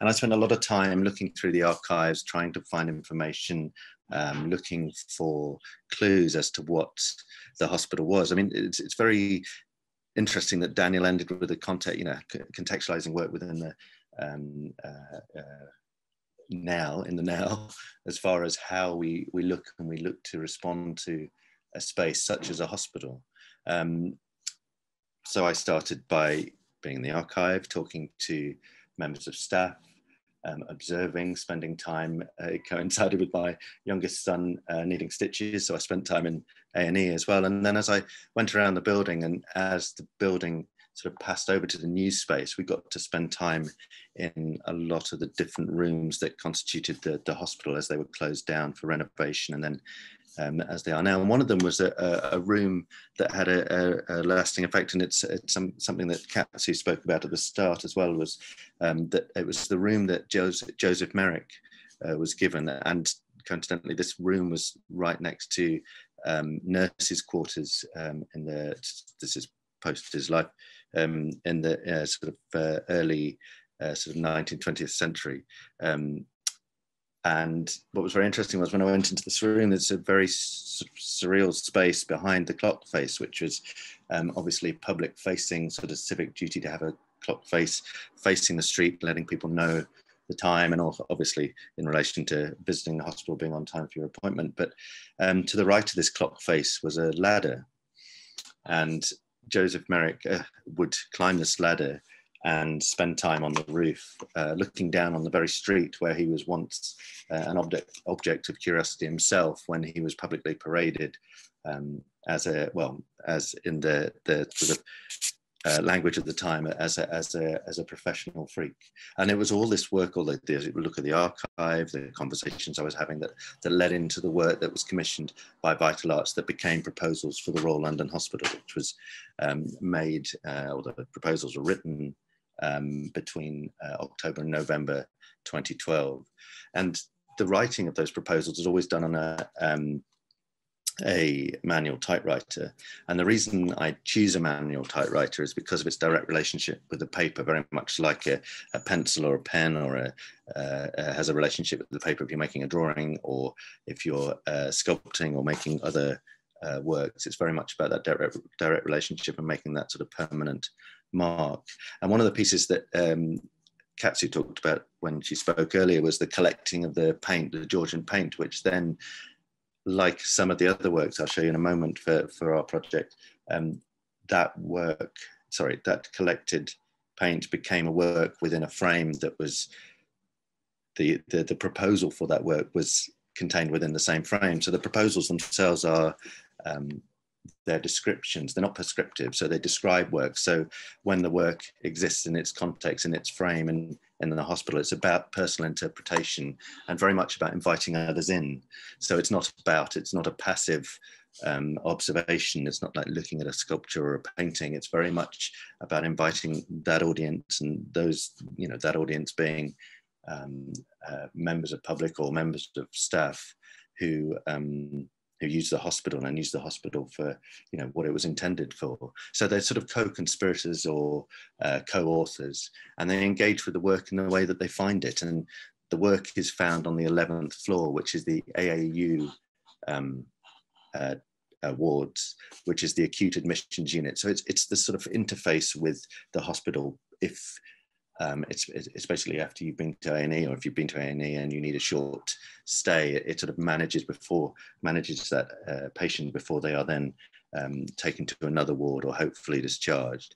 And the works themselves very much responded to that research, but also those sort of overheard conversations and, and how the work can exist. For example, the, the work in the center of the screen now um, is a proposal proposing that the, the proposal frame has a uh, a slot in the top uh, that coins are passed through. And so it's very much that people can come into the space, they can internalize the work, but also they can add to the work and change the work too, very much like that, the, the sort of paint flecks or the, you know, the coins being something that can be added and can, and so consequently, instead of the work being static, it can change. And, and this is a work, I don't know if I can say this, but this is a work, unfortunately, that does very often get um, repurposed, as in that uh, it gets taken off the wall forcibly and then the the the frame is broken apart and then the, the money is taken. And so every time that happens, we replace the work and the work then has this new life, this sort of uh, new uh, interaction with those uh, around it. And the work itself is not just on the 11th floor, there is also the, the proposal book. And the proposal book is a collation of the, the 66 proposals written for the Royal London Hospital. And that is very much about those individuals who want to, you know, have the book, whether it was distributed to members of staff and uh, is available for members of the public. That it's about interacting again with the work in a, as a, you know, as a as an individual and one to one. There's nothing more uh, personal, obviously, than than a book. And this was the first realized work, as it is one of the proposals that we realized Vital Arts and I. And then other works included um, instant uh, photographic pairs of the 14th floor uh, before it was fitted out. Um, and then also, as you have also just seen, the, the jokes um, that we collected from members of staff, uh, which first of all, before the, um, we filmed Phill Jupitus uh, performing those jokes, um, Phill um, performed those jokes uh, at uh, Tate Modern in 2017. Um, and he um, he adapted those jokes as he went along. So the jokes that you've just heard are from members of staff collated and collected from um, and selected by members of NHS staff. And uh, the proposals themselves, I just wanted to, to tell you that um, at the top of the header, so the, the proposals have a, a, header at the top, and it's very important that um, the proposal is for the staff and patients at the Royal London Hospital. So it's that invitation to, to spend time and imagine a work or works. And it's very much not about my vision of what the work potentially could be or how I depict that work being, but actually a little bit like a live performance, Phill's live performance. It's how that evolving relationship with an audience or with the audience uh, evolves for and, and with a work. Now, the second piece that I wanted to talk about um, is not directly linked to uh, Royal London, but it has an uh, overriding link, obviously, to the NHS, which is a piece made uh, last year uh, at the beginning of the first lockdown of the uh, pandemic. And it's a piece called Sign Painters for the NHS. And this is my um, eldest son, George, um, holding the first sign that I'd made. And, and, and this work was really, I didn't quite know I didn't quite know why I was making the signs, if I'm perfectly honest, at first. Um, it wasn't a proposal based project. Um, my youngest son had just come back from a French trip in mid March and came back and then had classic coronavirus symptoms. So we were in lockdown from the 15th of March. And it became something that I read and heard about and thought about through looking at, at the news. And because of my over interest in archives and, and material and, and wanting to know, I'd researched previous pandemics and having as everyone knows, we had an awful lot of time to do things like that, that I didn't quite know why I was making these signs, but very gradually it became clear that I wanted to um, to show solidarity with those on the front line, you know, whether they're bin men or postmen and women, uh, bus drivers, shop workers, social care workers, care home staff, um, and of course, frontline NHS staff and key workers, you know, teachers, um, you know, that everyone who was throughout the pandemic were there for us. And so this um, process that began on um, April the 6th became a daily process of, of coming to the studio and making signs, sign paintings for the NHS, um, which then over the seven weeks um, that the work was made, um, every day I would make the signs, I'd dry the signs in the studio, um, sometimes using a hair dryer or with all the windows open. And I then install them under the cover of darkness. Um, and at first, I didn't want any recognition. I didn't want this to be an artist project making or an artist making work about the pandemic. As I said, it was very much about that idea of showing solidarity. But one morning, I was there and just checking that nothing had fallen down overnight, as it had been really windy, and there was a um, a, a, photographer there from Reuters, and Reuters, he just came up to me and said, "Oh, you know, you know, what do you think to this?" And I said, "Well, you know, it's great. or I think I said it was okay. And he said, oh, do you, you know, do you any idea who did it? And, and, and I was able to say to him, actually, it was me and my son. And this is my youngest son, Thomas, who also in the beginning, as um, he helped to make the signs. And it was something that we worked on together. Sometimes I'd go into the, or more often I'd be in the studio four or five hours, and then he'd join me for an hour, and then we'd take the signs back home, and then when it got dark, we go and install those um, signs as as the work uh, sort of evolved and and became the thing that it became. And what was interesting for me was that it started out not being a piece of work, and then it very much became the thing that made sense of that early part of the first lockdown for me. That it became about thanking others and being aware that others were doing things that potentially I or others wouldn't be prepared to do themselves. And what was interesting was I'd be out after night. Now I have a dog, but I'd met lots of dog walkers then who were saying, oh, "What are you doing?" And they'd start supporting my supporting the project by bringing me gaffer tape and cable ties and boxes from things they'd been ordering from various online retailers.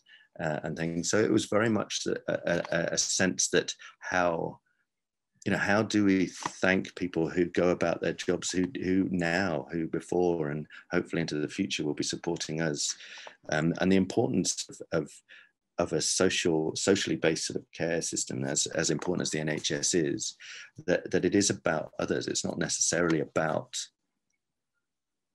it's not about them thinking that, um, or us thinking that they're just there for us. It's really important that we appreciate who, who and what they do. And it's important to acknowledge that the NHS was set up on the 5th of July to uh, 1948, you know, over 70 years ago to to provide social care and to provide care when it was needed, not on the basis of whether you could afford to be cared for, which I think is, is the mark of any civil society, is how you look after those who are the most vulnerable. And as part of that, what happened as the work evolved and it did get destroyed and sort of um, had to be renewed through um, various storms and through rainstorms, very slowly other people started adding their own science, like the one in the uh, middle here for the nurse, Donald Sveto. And I met his friend who said, Can I put a sign up? And he came to add to it. So it became this sort of civic space, a space that is not bound by you know opening times or hours. It became some way of you know passing on that baton of appreciation to others. And it wasn't just for the NHS. And it was very important to acknowledge that yes, that it, you know the NHS is is people. It is people we know. It, has been, you know, my parents, my grandparents, my brother. It's, you know, it's about acknowledging that sense that, well, this work became about acknowledging the idea of who, who cares for us and why do they care for us and why that is continually and should always be important. And the other thing that really did chime with me was actually that work wasn't mine. The minute that it went outside, a little bit like a show, if you have a show that opens in a gallery, the moment those doors open, the private view happens, the work suddenly isn't yours anymore.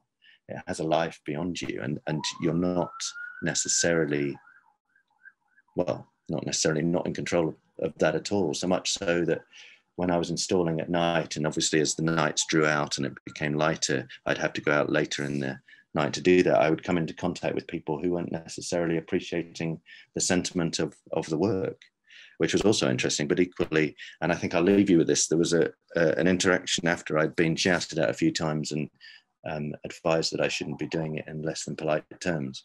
Um, I was installing some signs at the top end um, of of the work, which is which at this point was about 50 meters long. So up from the corner, what the, the photograph you're, you're looking at now is a photograph of um, the corner of uh, Grove Road and Rove, Road, sorry, Grove Road and Roman Road. And behind the signs is Wennington Green, which is a, a park that came out of, in fact, it's the same park that Rachel Whiteread's house uh, was in.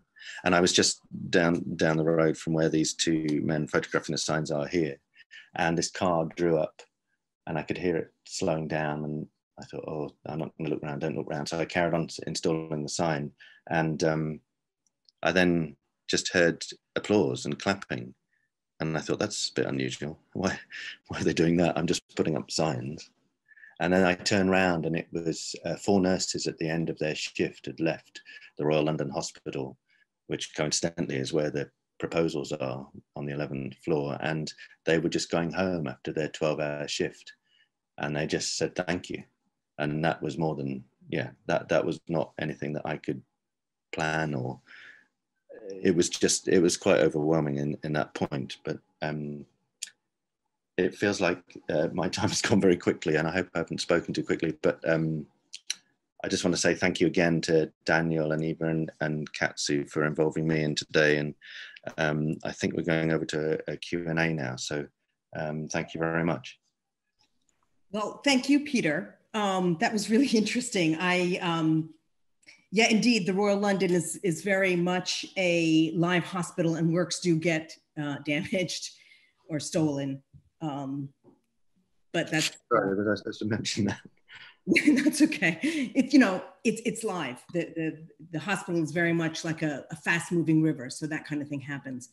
Um, we and and thank you also for that nice summary of your work as it all relates to the NHS. I know there's quite a bit of other work that you've done, including the work with the League of Nurses, which sounded like a spectacular. Yeah, the Royal College of Nurses. Yeah, that was on uh, in 2016, celebrating their centenary. And, and just the way that it, the menu was based on your family's recipe, family in uh, your family who had all worked in, within the NHS and the spontaneous thing was very nice. But um, indeed, we are going to move on to, to questions now. So maybe everybody can come back on. Um, I think the best way to do this is for me to sort of um, scroll through some of the questions. We won't probably be able to get to all of them, but um, one question that came up from Magana for Eva was to measure the about uh, about measuring the uplift in the mood by 72%. I think the question said 92%, but I understand it's, it's 72%. So maybe um, Eva wants to speak to that. Yeah. But I, I was also going to quickly say that probably the best thing to do is to review all of your incredible co um, uh, collation of information. Uh, that, that's a place to start. Thank you for the question. Um, uh, and I think I send the link to the actual study so anybody can go through the details. In a nutshell, um, the market research and analytics team developed the survey along with art program curators and it was um, deployed by email. So email was sent to the patient panel. And then uh, the scales that were used were so-called anchored scales which said significantly worsened, somewhat worsened, no effect, somewhat improved, or significantly improved. And that information does, then was collected and analyzed. Okay, good. Um, there was a question uh, directed to Daniel about your invitation to do some research. Would you like to respond? Yeah, I mean, in terms of the, the visual art collection that, that comprises part of our overall collections, those all of those works were photographed by Art UK um, a few years ago, which is kind of UK arts charity. Um, so they're all available to view online um, in very nice kind of high res images. Um, so I think the link that was shared very early on in the, the chat by, by, by a member of the, the team organizing today's events, if you if you follow that through to the kind of um, associated kind of assets and things, there's links to our pages on the Art UK website where you can view all of them. I mean, in terms of in terms of kind of broader access to our archive and museum collections, um, as you can probably guess, like most kind of uh, kind of cultural organisations, kind of heritage organisations, we're, we're slowly easing out of uh, a kind of pandemic related lockdown. So we are we are beginning to offer appointments for, for kind of on-site consultation, but I, it comes with a health warning, unfortunately, like everything has to be in 2021, that we're we're very slowly getting back to the idea of having having researchers on site. But fortunately with the art collection, as I say, um, it has been photographed and, and is and is available online. Um, that's not the case for a lot of our other archive material, unfortunately, because nobody's offered to uh, to pay to photograph and digitize it all for us yet.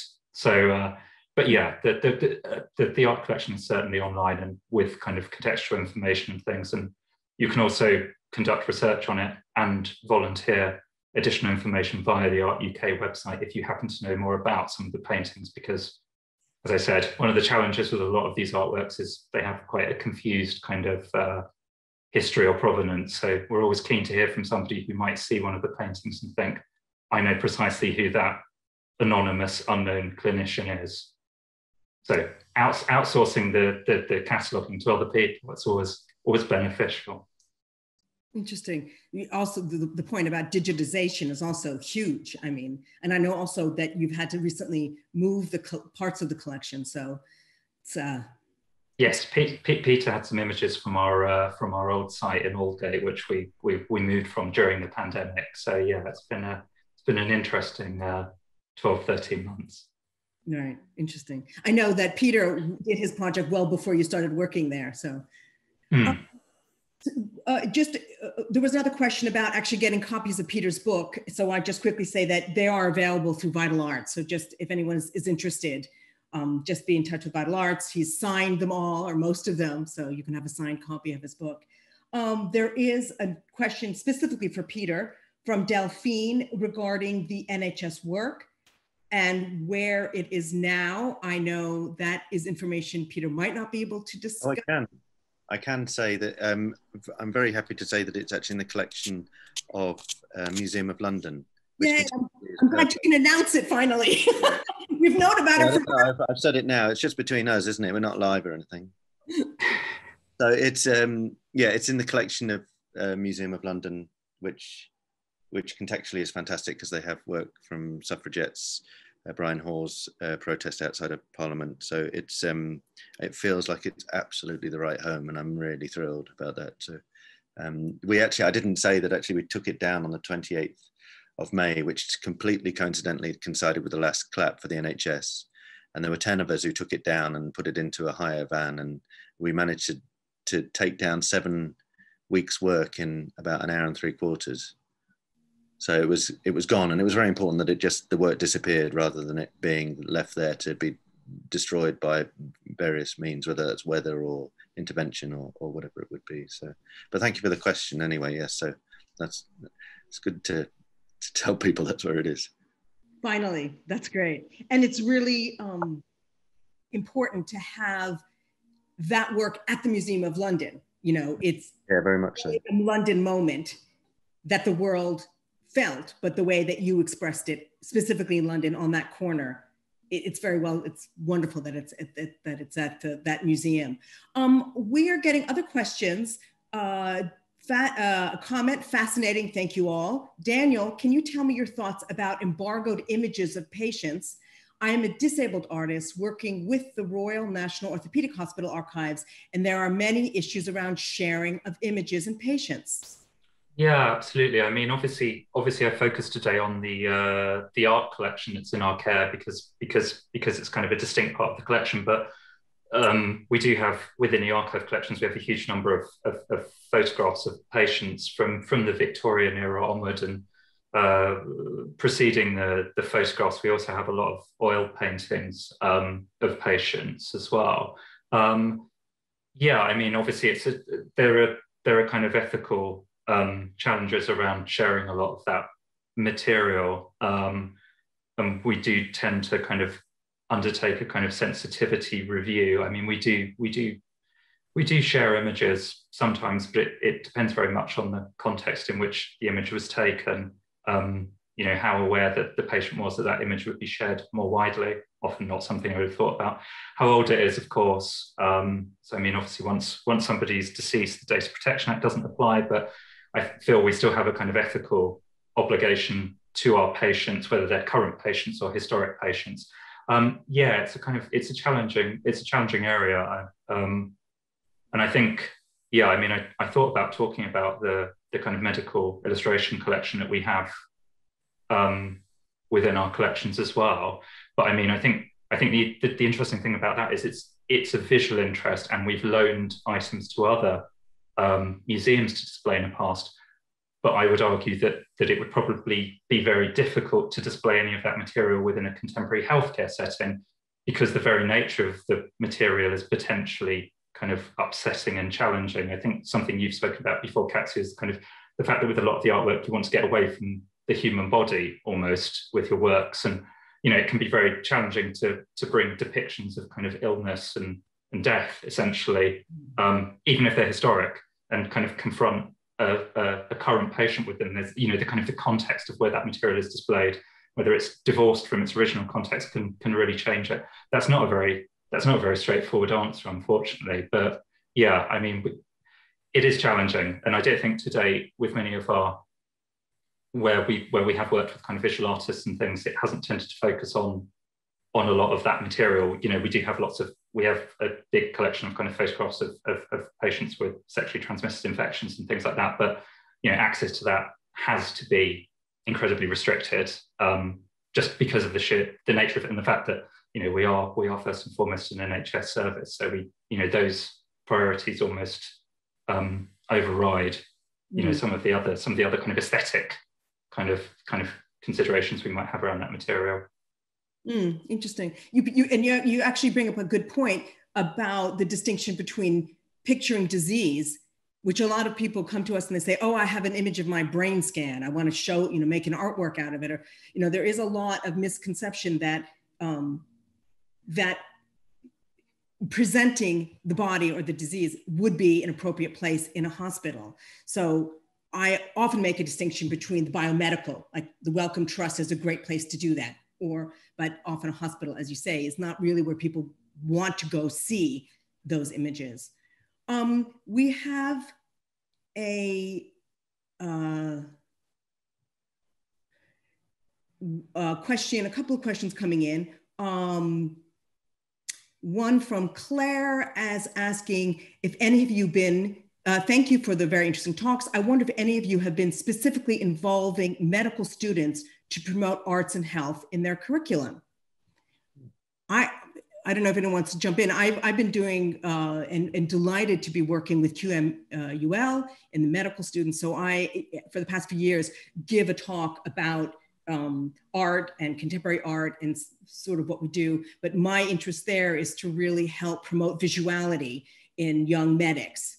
And um, I'm delighted to do that. It's very different than when I lectured for curating students or graduate, you know, the Courtauld or wherever, you know, I might ever be invited to. So uh, I think it is important to, to think about that kind of creativity. But I bet uh, maybe Eva has a more I think it's a, I think it's a great question because it's addressing the future of arts and humanities in medical settings. Um, you're right, um, spot on, Catsou, when you mentioned skill of observation. So one of the things that have been explored in collaboration with students is teaching students how to observe details by teaching them how to observe art. Um, the other thing that I have noticed is uh, we didn't have arts and health as part of our curriculum in medical schools, but there is certainly a trend of trying to bring it in, and it has to be defined first for two reasons. One is what we just mentioned, it does improve uh, observation skills and also communication skills.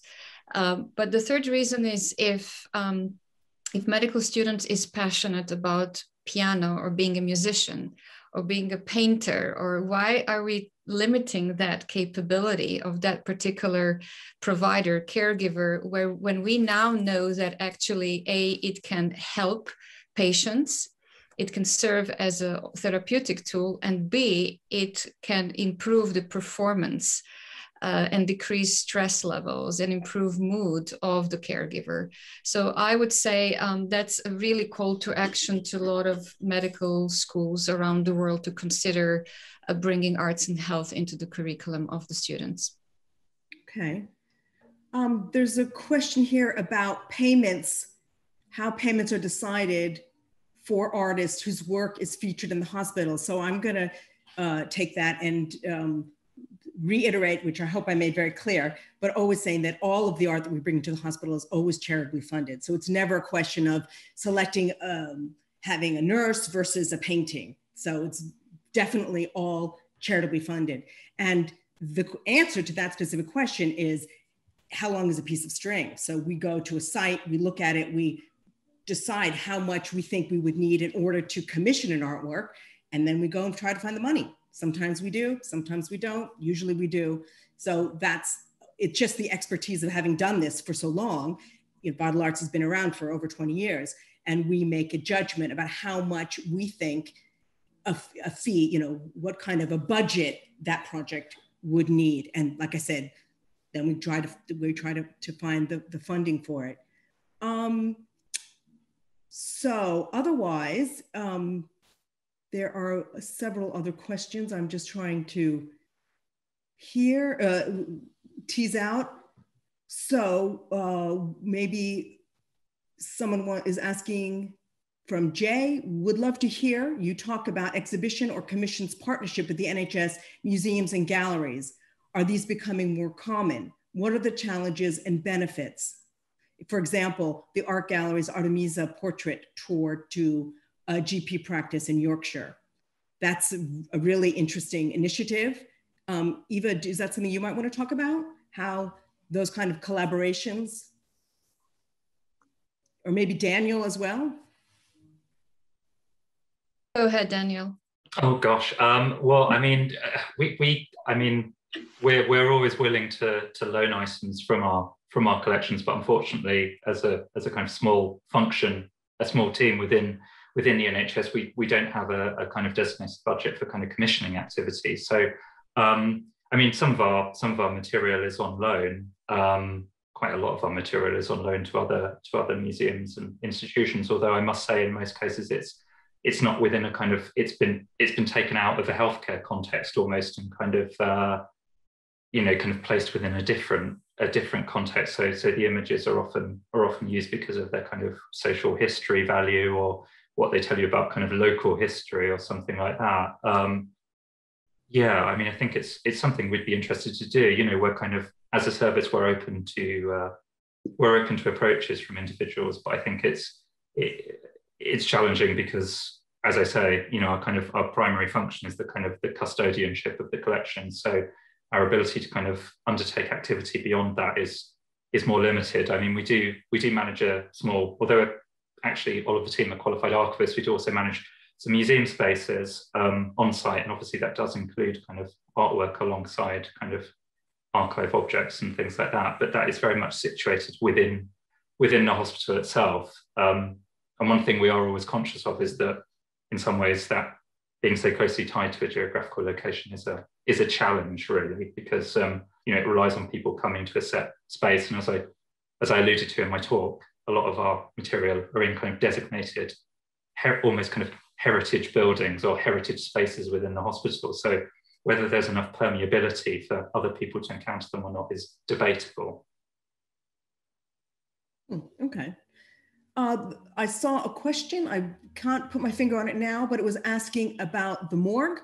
And I'm sorry it made people depressed. Um, it is depressing, of course the artwork, specifically in connection to the morgue, was developed with the clerical team. So we met with the imam and the vicar and the, the whole clerical team. And the artwork was uh, in several spots. So in one case, there was artwork above the viewing trolley. So where the body is laid out, supine, there was a wall behind there. So we put the artworks there. This is the artwork by Julia Vogel uh, really wonderful artist, wonderful to work with. And that, the motif based on William Morris, because he's a local, another local artist to uh, one of our hospitals, Waltham Forest, um, was also reiterated in, in a frieze wrapping around the ceiling. She made soft furnishing, this tote bag that I showed, and also a light box. It was a block, it was an old building.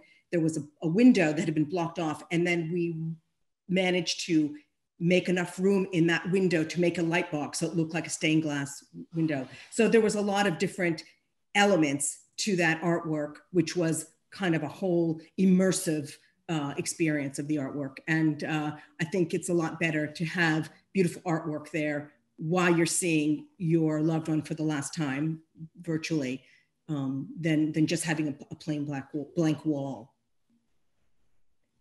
So um, there was a question about portraits for Eva, which Eva replied. Um, my question is for Eva. Portraits in Hospital India are in black and white. Can you please explain a bit in detail how did it help the patient? How did the patient feel on doing their portrait? Why all, all why all are just sitting position, not lying in the bed in any other position related to hospital? Is this intentionally done? If so, if yes, are you able to explain a bit more? And it, I think Eva has some. Yes. Mm-hmm. yes, thank you for the question. I think the video that I said will be self-explanatory. Um, it's uh, um, it's about, as artist is saying, it's about the time that we are giving to and sharing with the patients most of the patients were cancer patients. Um, and to me personally, I think whether it's black or white, it's completely irrelevant compared to color. Again, it's about the attention that we are bringing to this space. And um, for the first time, some of those patients says that they really think now, but somebody cares about them by giving them that time, enough time to even do the portrait. So I would encourage people who who are wondering um, why this is important to just watch the video. Okay. We just have a few minutes left. Um, do you guys have, I mean, there's lots of other questions, or do you guys have something you, anything you want to bring up to each other? It might uh, be a moment to, to, to do that now. Otherwise, there is a question from Susan about a sustainable model for arts and health in healthcare setting involving not just students, but what the healthcare staff, but the healthcare staff and giving them protected time to be involved with projects. Yeah, that's a very good question. More and more now, we are definitely thinking about the staff. From my point of view, until recently, we have such limited resources and a tiny, tiny team that we were just focusing on patient um, experience. Um, there, now with the pandemic and added stress, there is a lot more activity in art therapy happening, um, which is obviously separate issue than what we do because of course making art can be therapeutic whereas we see viewing great art has therapeutic so it's the difference between the, the, the process of making it which we vital arts isn't that involved in we're more involved with the presentation of it but maybe somebody else has a comment on that well, I'd, I'd, like to say that it's a great suggestion. It's been something that is that's been lingering for a long time now. Um, I do think at one point those who express desire to be involved in arts and health concept as a part of the hospital care, um, they should be allocated some time. And I boldly say that allocate like 10%, 20% of time, clearly defined what their role would be that again will make everybody much much happier and that's also my personal experience talking to my colleagues whether nurses or any caregiver doctors um, anybody in the hospital they are much happier when they can actually show their passion and speak a different language that is much more simpler to understand than just numbers. Okay interesting. Yeah.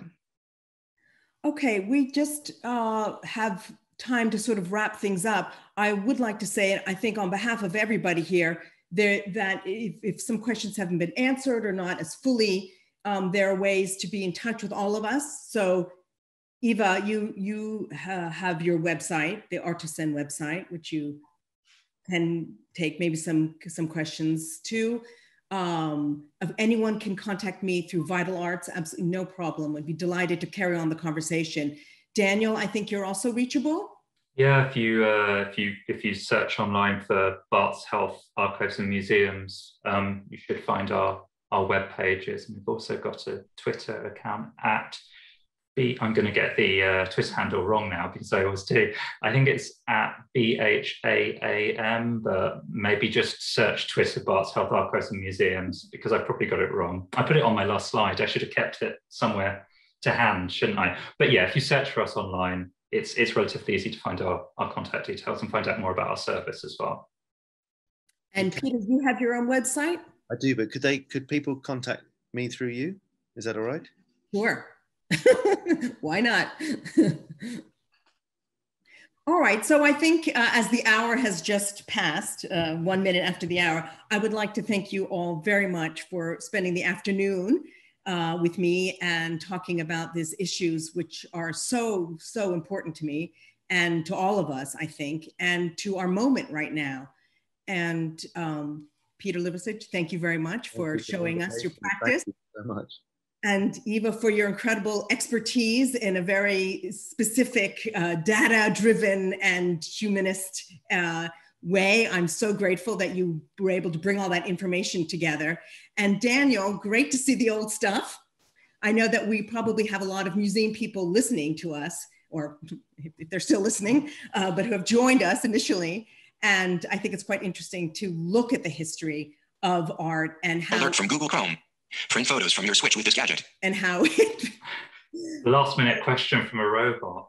Uh, uh, but um, yes, and how how that whole history of art in a hospital for the the donor, the potential donor, has shifted now to our um, concern with the with the patient.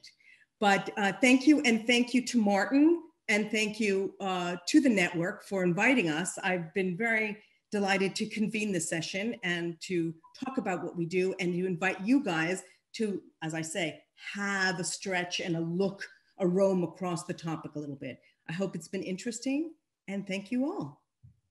Thank you. Thank you. Bye-bye. Bye-bye.